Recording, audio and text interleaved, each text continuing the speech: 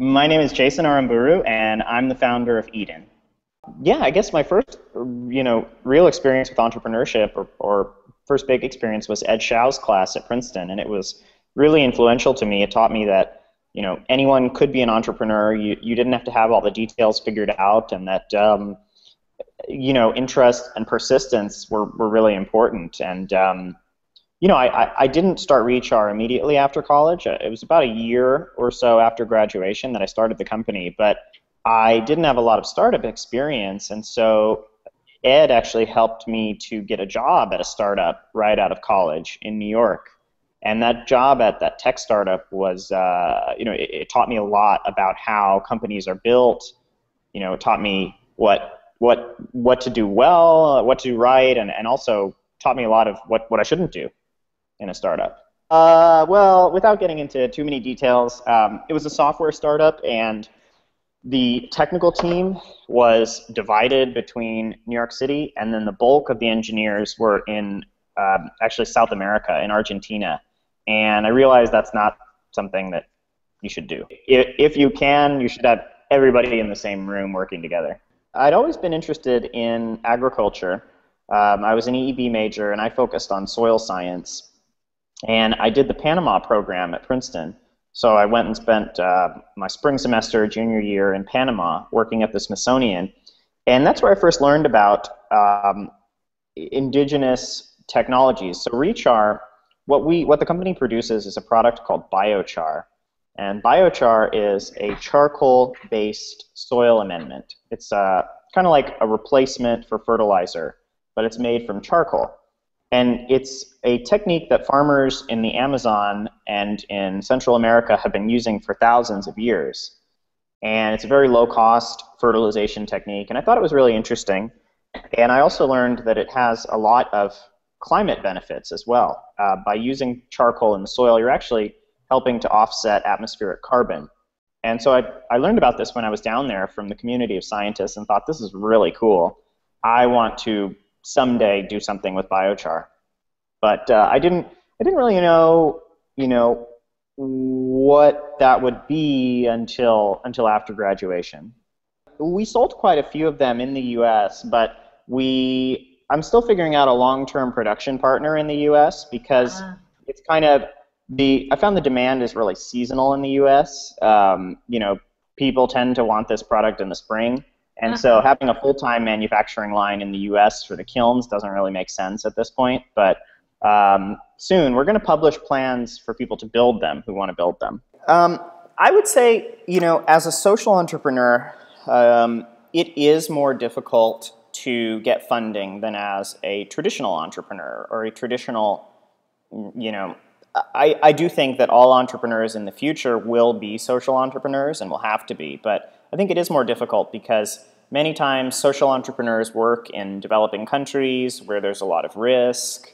Um, they are often selling products to people, you know, uh, who live at or below poverty, and so it can be challenging to uh, to find the right funders. And you know, typically most uh, venture capitalists and investors, you know, they want to see the quick path to profit and return, and oftentimes that just doesn't work with a social entrepreneurship business plan. So, you know, there's there's really two options I think for uh, for social entrepreneurs. Uh, there's a class of investor called an impact investor, and it's still a really small asset class, but these are private for-profit investors who also want a blended return. They want a, a, social or an environmental return in addition to a financial return on their investment. And uh, you know, there are a number of impact investors out there, but it's, it pales in comparison to the size of the traditional venture capital market. The other option, which, and with re:char, we, we really had difficulty infiltrating the impact investor market, but where we had great success was on the grant funding side. Um, we were able to secure grant funding from uh, a lot of different groups. A group called Echoing Green in, the, in New York was our first funder, and then we got funding as well from the Bill and Melinda Gates Foundation. And um, that funding was critical because, you know, when you are building a business in the developing world, you're not just like building the production. You're not just building the, the production channels and the marketing channels. You're basically building the whole economy. You know, you're often going into a place where the economy does not exist, and so you have to invest a lot in just getting the tools and the channels to sell and distribute your product. The one unifying uh, marketing channel in a place like Kenya is the, the phone. And so we had great success with actually text message based advertising. There's no you know, internet ads, their TV ads are not really effective because most people don't have TVs. Um, a lot of people have radios, but uh, but really where we had the most effective penetration was just recruiting leaders, community leaders, farmers to be kind of ambassadors and salespeople for Recharge. That that was our by far our most effective uh, marketing technique. When I was picking the core team for the company, I you know, I wanted it, first of all, to be heavily local. So I, I felt like as a foreigner, you know, I needed to build a local team of people who grew up in Kenya, who know the environment and can relate to the customer base. So that was critical. But beyond that, you know, we did we did, uh, did and, and, do have a few expats on staff, and um, I would say in, when selecting, you know, foreigners, expats, I looked for a couple things. Um, number one was just experience working in a developing country because I think it takes a certain type of person. You know, um, over there, for instance,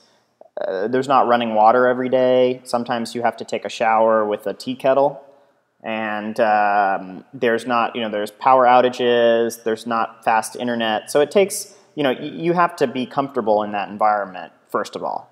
Um, I would say high maintenance people generally do not do well there. So that was kind of the first thing. So, you know, one, like for instance, one of our early employees, um, he did Princeton in Africa right after Princeton. So he had that experience. Uh, another guy was, um, he was in the military actually, so he had a lot of experience working in developing countries. So that was, you know, that was first and foremost important. I would say the second quality was um, you know, just uh, resilience and ingenuity, the ability to think quickly on your feet. You know, sometimes things don't go as planned running a business, particularly if you're running a business in a place like Kenya. Um, so I think you know those, those two qualities were really critical, and then after that, you know, obviously hard skills specific to the job are really critical, but um, overall, just just the ability to function in developing world context and to really um, engross yourself in it and, uh, and be part of the community. Without getting into too much detail, by far the toughest challenge I faced as an entrepreneur, um, you know, I've always enjoyed working with friends or friends of friends. I find it's the most one of the most effective ways to build a company, but it is very difficult when you have to fire a friend. Edyn is different from re:char in that it's um, you know it's more of a domestic, uh, you know, developed world product. Uh, we're selling through retail channels, big box retail channels, and through the web. There's also a social aspect to it, an environmental aspect to it, but um, you know we're we're creating.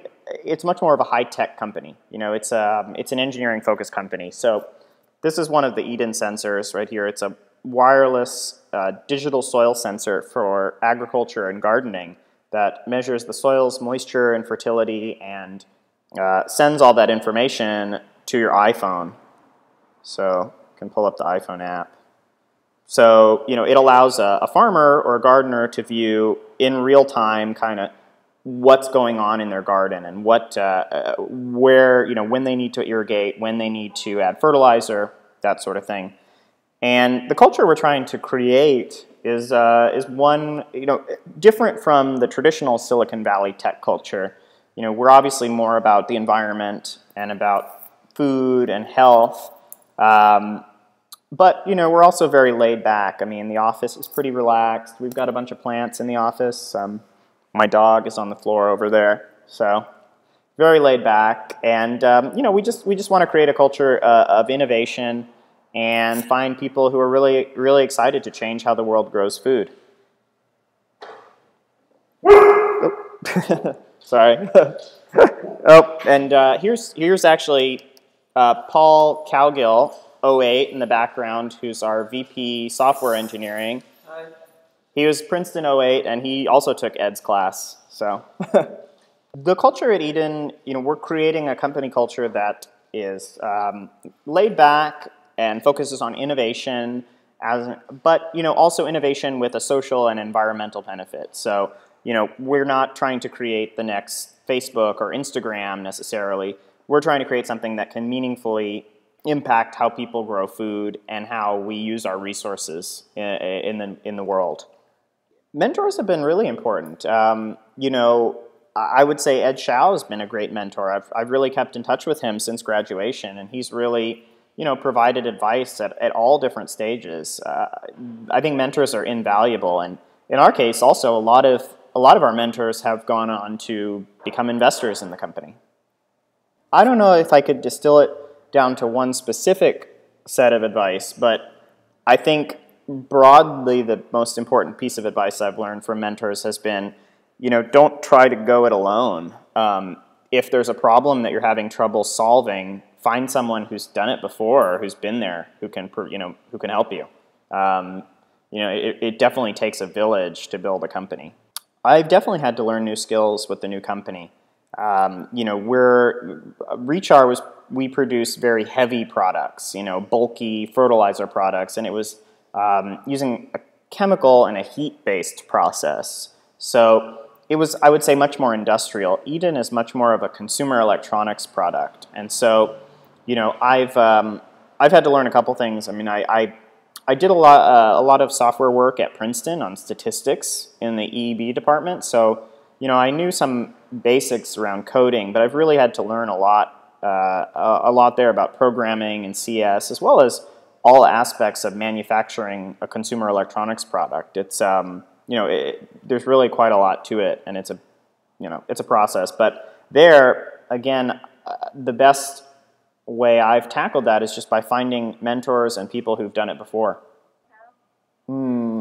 Oh no, I, I don't have any regrets. I I um, can't really imagine having done it another way. I think if I had done anything else, I probably would have regrets, and I you know wish I had had started a company.